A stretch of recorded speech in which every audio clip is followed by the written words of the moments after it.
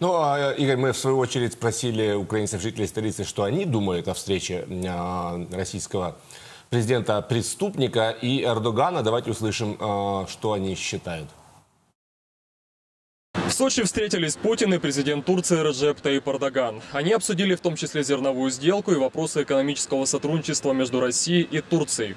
Какие интересы преследует Эрдоган? Мнение украинцев. Просто ищет выгоду для себя. Это мое мнение.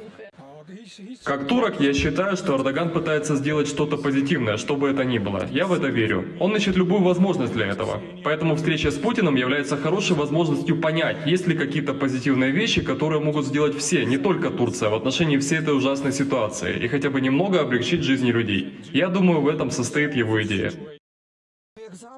Как всегда, он только о себе заботится. И все, о своей империи. Это его право, он хочет так. Он отвоевывает все кругом, где может. Он очень агрессивный человек. И мне кажется, это неправильно, что все политики с ним так любезно себя ведут. Так не должно быть. Это должно быть наказано раз и навсегда. Эрдоган, как мне кажется, играет с огнем. Он не знает, что это такое.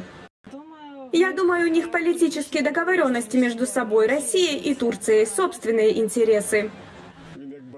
Он как барыга работает, что-то и вашим, и нашим. Я думаю, что президенту такой страны не стоило бы так себя вести. Я считаю, он пытается его обелить и помочь ему выйти из этой путаницы. Ну и, конечно, преследует свои интересы, потому что Украина это житница, Черное море нужно, как я понимаю, а с войной это, сами понимаете, сложный вопрос.